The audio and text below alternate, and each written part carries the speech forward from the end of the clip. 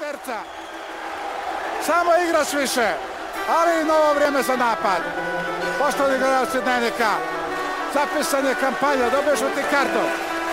Igrač više, dramatična završnica, Ivović, Danilović, Jokić, Ivović, ponovo Jokić, još 10 sekundi do kraja utakmice. Još jednom Ivović, Šest,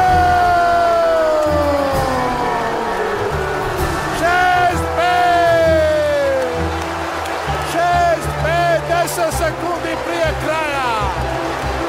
Crna vodi 10 sekundi prije kraja. Ivović je strijela! Italijani sada protestuju, traže penal.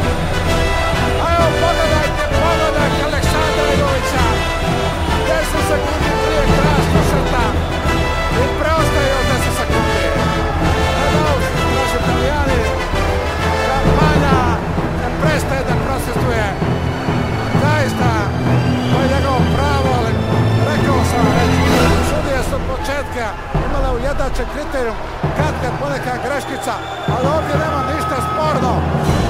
Naprotiv, naši su tražili peterac, a sudije su dale igrača više. 10 sekundi do kraja. To je veliko vrijeme.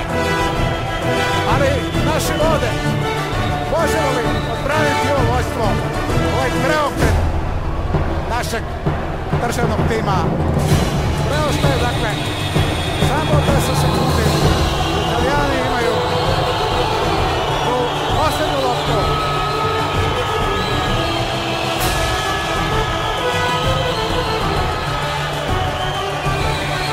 Još se nisu stekli uslovi.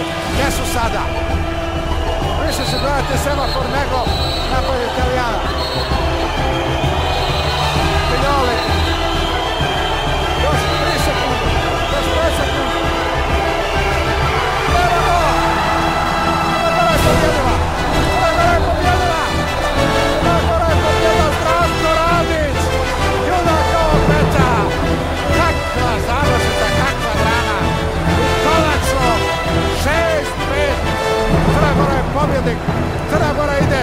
završnicu. Crna Gora brani titulu svjetskog prvaka. Posjetila me na Malagu. Posjetila me na one trenutke kada smo postali prvaci Evrope. Evo ovog momenta kada je Radić odbranio, šutirao je. Šutirali su Italijani, napravili su dobru kombinaciju. I ovdje je sada pravo stavlje. Konačno 6-5. Crna Gora je prva. Teška utakmica, ali veliki znaju da budu kad je najvažnije veliki. I zato im čestitke. Kolega Živanović i Petar Korović.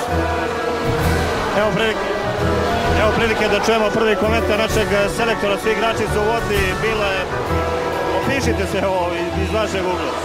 Pa od početka sam govorio da ova ekipa ima jedan mali grč i to se vidjelo cijelim tokom cijele utakmice. Mi smo cijelo vrijeme imali ritam, imali šanse, nismo davali golove i ono što stalno ističem, ova pobjeda nam puno više znači da vratimo naš pobjednički mentalitet, da vratimo optimizam i da vratimo vjeru u sebe. A naravno uz ovakav divan ambijent, to je bila naša velika pomoć i nadam se da ćemo ovako, s ovakvim ambijentom, ovakvom podrškom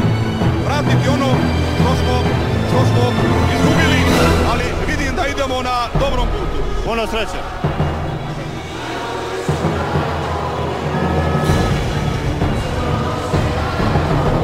Idemo dalje, idemo dalje Maksima, ajdemo. Evo prilike da čujemo i Vladimira Gojkovića, naravno prvo čestitke za zaista velika pobjeda u sjajnoj utakmici. Pa dobro, Italijani su se pokazali kao i svo vrijeme kad smo se odvojili da nesu da protivnik nikad ih nismo lagano dobili. Malte ne, ovo je bilo izgubljeno u finale svjetske lige. Dva minuta prije kraja, jedan gol razlike, ali digli smo se, pogodili smo odmah.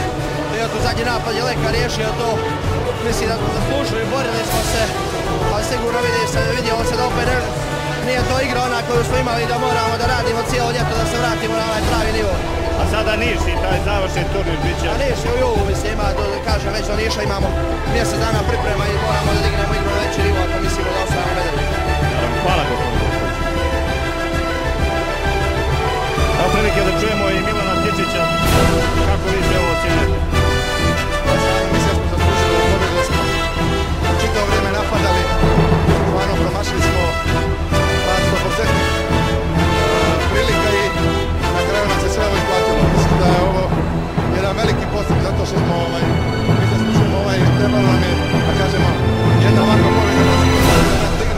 Vratiti ovaj, ovaj ambijent koji smo imali i u periodu u 2008. i mislim da je da je s ovom utakmicom treba početi naš novi period. Hvala Milane. Borim se, bilo je izuzetno teško. Ne znam tačno koliko je bilo isključenja nad vama, evo i ovaj finiš. Pa evo, dosta tvrda utakmica, neizvjesna do kraja. Mislim da smo sve držali u neizvjesnosti, ali evo Ivović je večeras odlučio. Ja mu čestitam odigrao je zaista fantastično i on je junak u utakmici sigurno.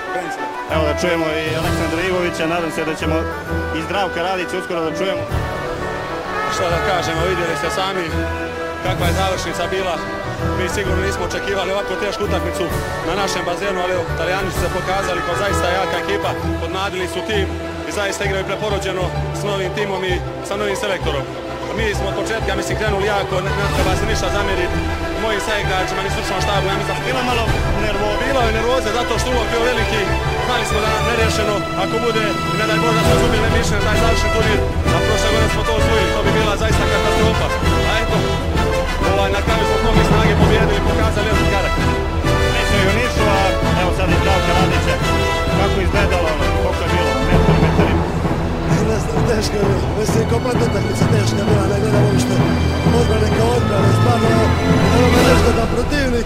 pomlađe dosta sastav i sigurno znači da ih ne znamo još toliko je dobro. Uh, sigurno, znači da kaže i na njihov golman Tempest je dosta dobro branio, što nam je dosta toga otežalo. Mislim da je realno da bilo da smo, da smo mnogo bolje od njih, ali uh, na kraju ćemo biti zadovoljni sa vijenim koji razli.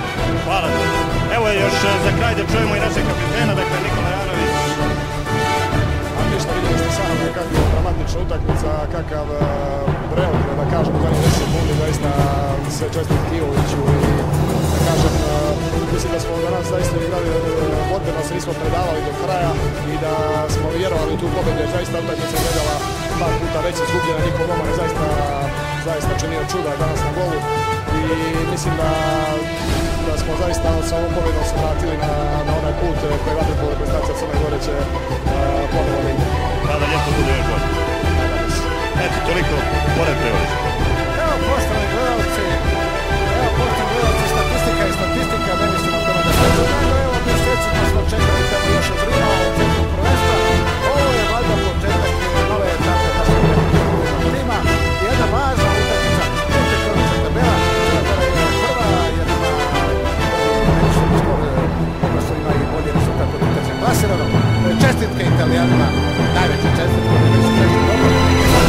da će i naredna takmičenja, prije, svega Evropsko prvenstvo, biti znatno kvalitetnije, konkurentnije, a našima zaista sve čestitke uspjeli su da preokrenu nešto što je izgledalo da se ne može uraditi. Taj gol e, Ivovića na 10 sekundi prije kraja vratio je vjeru, vratio je snagu i mislim da je konačno vratio se samopouzdanje našem državnom timu koji je, ne zaboravimo, i dalje braneći prvak Evrope, pobjednik Svjetske lige. Čestitke svima i do jula kada je Svjetska liga u Nišu. Doviđenja!